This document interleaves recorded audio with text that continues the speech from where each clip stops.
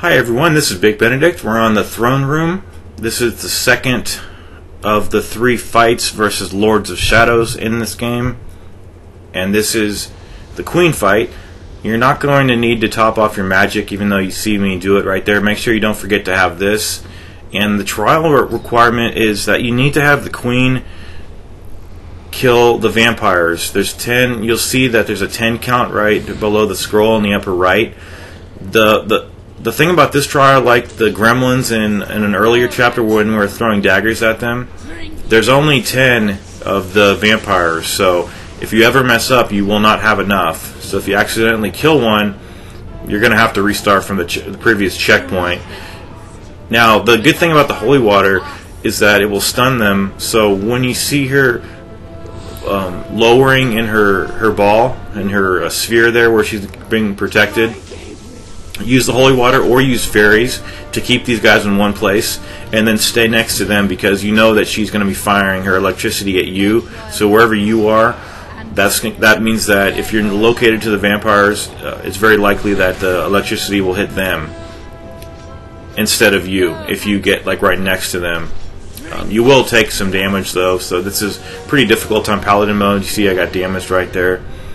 It's actually preferable to use the holy waters on these guys. I don't think holy water. Like, you see how a couple of these vampires have very low health? I'm still going to throw holy water, but it, you see how it, it doesn't kill them. It, it takes away some of their health, but it doesn't outright kill them, which is which is very good here because if it did kill them, I'd have to restart the checkpoint. But basically, we just need to lock them in place and you need to have uh, the proper timing involved too. So make sure that you're throwing the holy water uh, about. See, I threw it too early right there, and it cost me. Uh, it just co- it just cost me time. That's all it cost me. So when you see her coming down, like I said, with with the energy sphere she's in, drop the holy water. That will keep these guys locked in place for enough time to where she'll shoot the electricity. So I'm just guarding and uh, just getting impatient right there. But see, I'm going to stick close to this vampire and try to see if she'll shoot him, and she does. It's not that hard. It really isn't. Um, it's hard. I mean, it's just hard to, to kind of stay alive, you know, and, and not be able to kill these guys. Also, if you have your shadow magic or the light magic, you can have that activated while you're tossing holy water to protect yourself with your own sphere. And pretty much, I mean that that that's a good solid strategy because the holy water is going to lock these guys in place, and it's not going to outright kill them because it's not really designed to do that. It's designed to stun them. But I imagine if they had like a mill, like a like a little tiny sliver of red life, it probably could kill them. But as it stands, we're on a very high difficulty, so our attacks aren't um, aren't very strong to begin with, or sub weapon attacks. And also, don't do not worry about being a low health for the next fight. There's three phases. Don't worry about coming to the next fight phase of the fight with low health because you'll you'll probably have some shadow magic, light magic, excuse me, which you can just use to restore your health.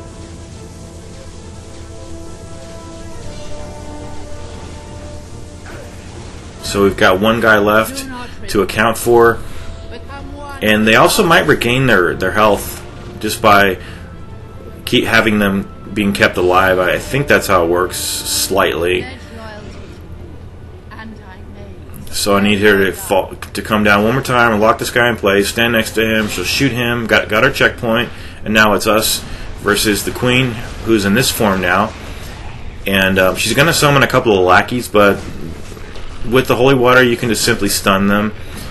Now you can parry that attack, but the attack she does with her right hand is the unblockable and unparryable attack, so you've got to evade it, uh, much like a lot of the other enemies in this game. So toss your holy water, and then grab kill them, or do this attack. I mean, you, sh- you should have ample resources here to do your magic attacks. And this was like the first time ever I've ever fought her where she did this attack, and uh, just needed to complete the quick time event so the lackeys aren't bad at all. Just toss a couple holy waters or, or stun them with fairies.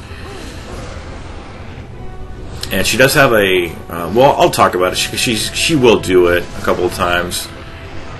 Okay, so this is the first phase completed right here. You need to just complete the quick time events. And now she gets a little bit more aggressive. I think she still has lackeys, but she's going to do this dive bomb attack. Has a huge radius of effect, so just watch out for that.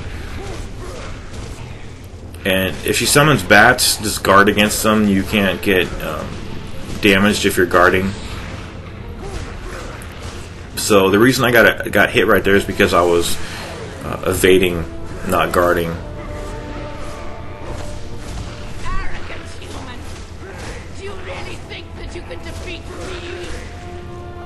And just just you know if you see scarred, you don't get damaged. And just always watch out for that one attack because it is just devastatingly. You'll just be dead. I think it's instant death. But if you're at full health, you might be able to survive it. So there's really, I don't think there's any.